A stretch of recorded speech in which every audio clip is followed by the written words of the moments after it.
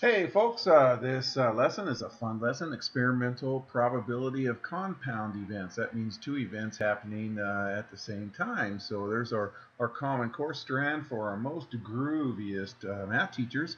And be nice to your groovy math teachers. And then, so how do we find the experimental probability of a compound event? Sorry about that. So a compound event is an event that includes two or more simple events. So for example, uh, flipping a coin and rolling a numbered cube. So uh, we're going to do that first. So compound events can include uh, events that are dependent on each other uh, or independent of each other. So we're going to be working with independent events in this lesson. And in most lessons, we'll talk about that in just a second. So events that are independent, uh, if the occurrence of one event does not affect the probability of the other event, such as flipping a coin and rolling a number cube. Okay, so we'll talk about this later, but not in this lesson. But dependent events, or say, let's say, let's say you had a deck of cards and and a uh, deck has 52 cards in it. And let's say you want to know what's the probability of pulling, say, two hearts out. Okay, remember one fourth of the deck are hearts, so there's um, uh, 13 out of 52 cards, and and dependent would be, are you going to leave that card out? Because the second card that you pull would be dependent on the first card. Or are you going to put it back in and shuffle it again, and then it would be that would be independent. So so uh, we're going to be working with independent events on, on this lesson, okay? So, so dependent means it totally depends on the first event, what happens with the second event. So, um, uh, so that we're going to um, do independent events on this one. So, so what are the possible outcomes of flipping a coin? Well, when you flip a coin, you get a heads or a tails. Okay, how about the possible outcomes for a standard cube? Uh, if you roll it once, you can get one, two, three, four, five, or six on that. Okay, so let's go ahead and answer these. Let me slide that up. Sorry, I, I went real fast. So we're going to complete the list of all possible outcomes for flipping a coin and rolling a number cube. Okay, let me just slide that up. Okay, so we can get a this stands for a heads uh, on a flip and a 1, a heads on a flip and a 2 on the, on the cube. So this one's going to be a heads and a 3 and so on. So this is so heads in a 3, a heads in a 4, heads in a 5, a heads in a 6. Those are all the six outcomes we can do if we got a heads uh, rolling the coin. And then so if we roll the coin and get a tails, we can get a tails and a 1, a tails and a 2, 3, 4, 5, or 6. So how many outcomes are there? There's going to be 12 outcomes. And um, we'll learn again later how, how many outcomes, as long as they're independent of each other. This has two outcomes, this has six outcomes, 2 times 6 equals these 12 different outcomes. Okay, that's later, but I'm just kind of letting you know ahead. So let's flip a coin and roll a number. Uh, 50 uh, roll number cube 50 times and use tally marks to record our results. Okay, so let me go get my um, uh, my flipping a, or rolling a cube. I don't have a uh, I don't have a uh, uh, a dice on here, so let me do this to one cube. Okay, so here's one cube, and we're going to roll. Okay, so we get a one, and I'm going to flip a. Can you hear my quarter? It flips to a head, so I get a, a heads and a one. So what I'm going to do is is um, uh, put a, a, heads and a 1 uh, right here. It says use tally marks, okay? So here's a, a heads and a 1 right there, okay? So that's my first time. So let's do it again. We're going to do this 50 times. I'll only do it 3. Okay, so that's a 6. So let me roll my coin again. Okay, sorry, that's a heads and again, so a heads and a 6. So I'm going to go ahead and go over here and do a heads and a 6. So there's my second of 50. Okay, I'm going to do one more, and then I've already done this earlier, so so here we go. That time it's a 5, so this time it's a, oh, we get a tails finally, and a 5. So I'm going to put a tails and a 5 right here. Now to save time, you guys, I've already done this 50 times, so let me go ahead and flash forward right here. So here we go. Okay, so there they are right there. So based on this experiment, so there's there's 50 of them. There's 50 tick marks. Now, as long as you guys know that, um, uh, let me let me get this over here. As long as you guys know that there's 50 of them right here, I got 50 tick marks, and and um, uh, if you're in my class, this would represent five. So here's four, and here's the fifth one. And the reason why you do that is it, it's easy to count by five. So here's 5, 10, 15, 20, 25, 30. Okay, here's 34, 35 plus 4 more is 39, 43, 44, 45, plus 4 more, or 5 more is, um, uh, I don't know, they should be out to 50, I don't think I got 50 there somewhere, I was adding wrong. Anyway, so based on the experiment, which compound event had the greatest experimental probability and what was it? So which one has the most? Okay, it looks like this one has the most. Okay, how about the least right here? Well, definitely this one had the least.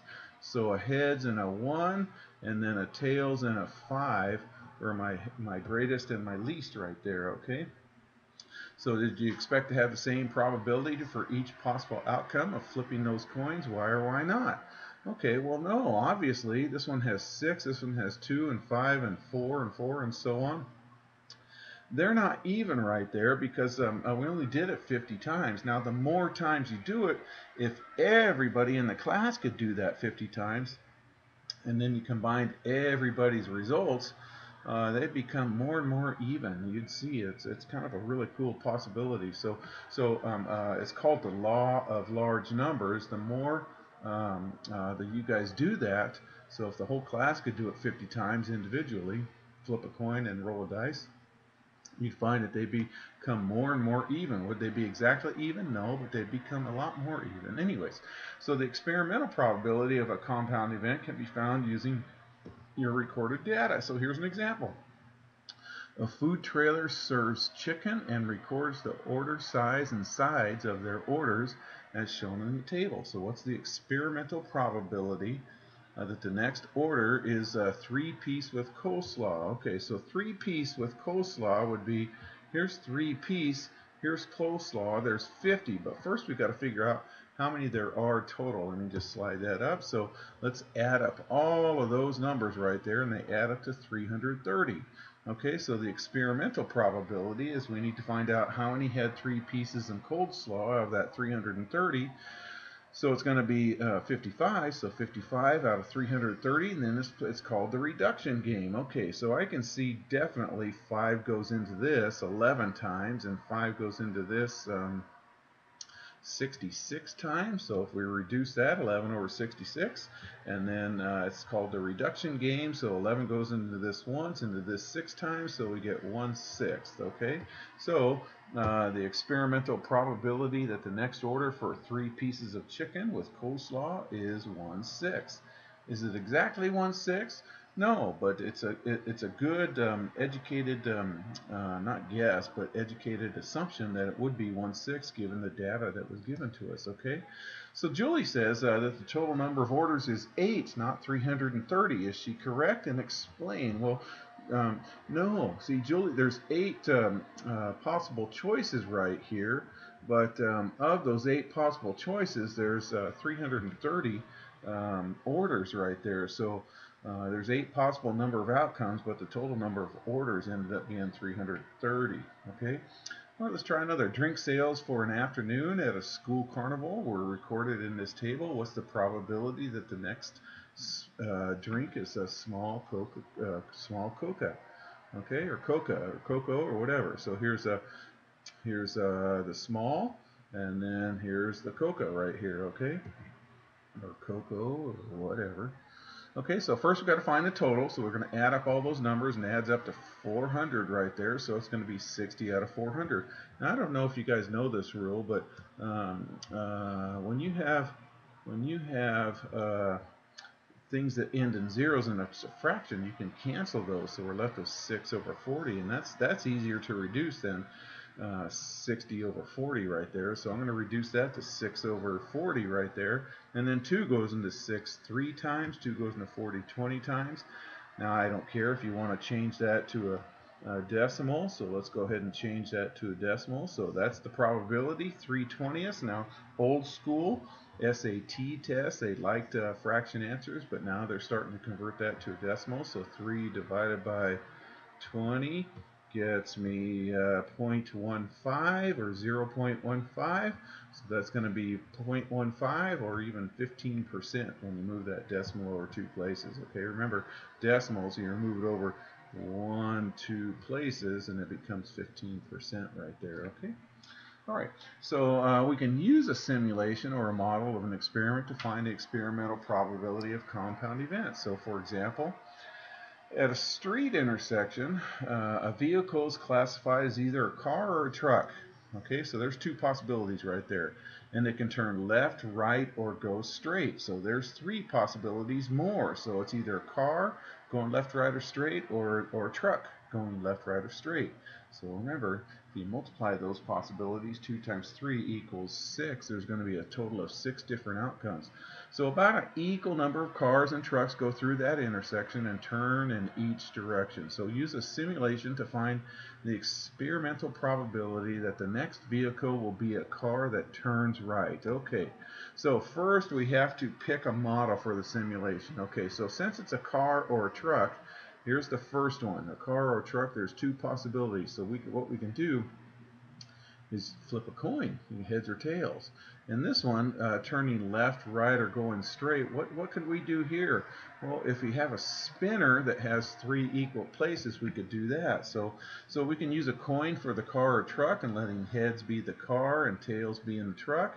And then for the three directions, we can use a spinner. And then if you can just kind of flick it with your finger, um, we can uh, see where it lands, make sure that it's not uh, uh, straight up and down, but it's sitting flat on your on your desk right there. And uh, we can we can do that. So there's six possible outcomes. So this represents a car going left, a car going right, a car going straight, this is a truck going left, a truck going right, a truck going straight. So there's six different outcomes. Okay, let's just slide that up. Okay, so um, a coin was tossed and a spinner was spun.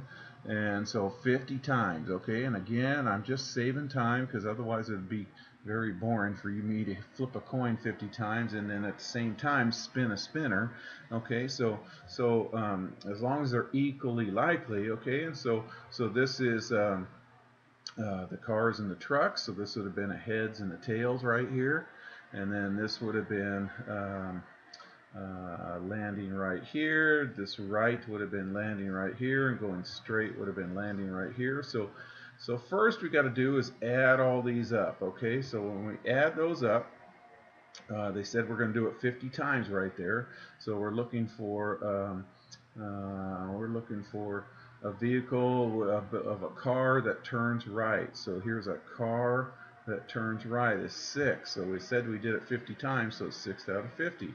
Okay, 2 goes into that 3 times, 2 goes into that 25 times, so we get that. Now if we wanted to get a decimal, we could just pick up our handy dandy calculator. Alright, now as you get uh, higher in math classes, you guys, your teachers are going to want you to reduce those fractions, so so uh, please don't give up on that because I know you guys want to pick up a calculator and I tell my students all the time as soon as you turn that calculator on you uh, turn your brain off. So I'm going to do 3 divided by 25 and that gets me 0.12 which is 12% okay that's the same as 6 divided by 50 but if you were in my class I'd sure like you to be able to still reduce fractions from um, uh, from your uh, earlier grades right there. Anyway, so we get uh, 0.12 or 12% right there, okay? All right, so predict the number of cars that will turn, oh, I don't know what happened right there, what, that will turn right, let's see what happened right there. Oh, we got an extra U in here, let's take that out.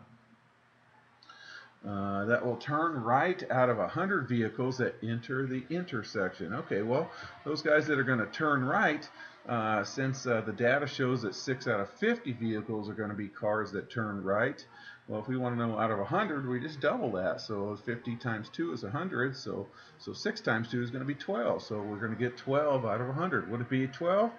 Probably not, but that would be a good um, uh, educated uh, guesstimation on that. All right, let's try one more. Okay, jeweler sells necklaces made in three sizes and two different metals. Okay, so we have three sizes right here. So here's our sizes, 12 inches, 16 inches, and 20 inches. And the, the metals are silver and gold. Okay, so we're going to use this data to uh, to, uh, uh, from a simulation to find the experimental probability that the next uh, necklace sold is going to be a 20 inch necklace uh, that is gold so that's going to be 12 okay first we've got to add up all these and put 12 on top okay? So this is our bottom number 75 okay? So it's going to be 12 out of 75 okay? Now um, uh, the divisibility rule is if we add these digits 1 plus 2 is 3 since 3 goes into 3 7 plus 5 is 12 since 3 goes into 12 then 3 goes into both of these. 3 goes into this um, 4 times uh, 3 quarters gets me 75 so this reduces to 4 over what did I say yeah it's 4 over 25 right there. And then um, you can change that to a decimal and all that stuff if you want but that I am good if you can get to 4 25ths on that. Alright you guys. I hope that makes sense and take care